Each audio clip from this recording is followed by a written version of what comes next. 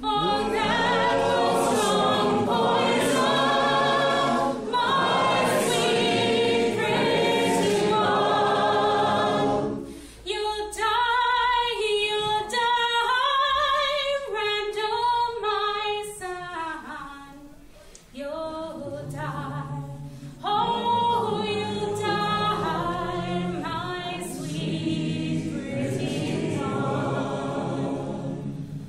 Will you leave your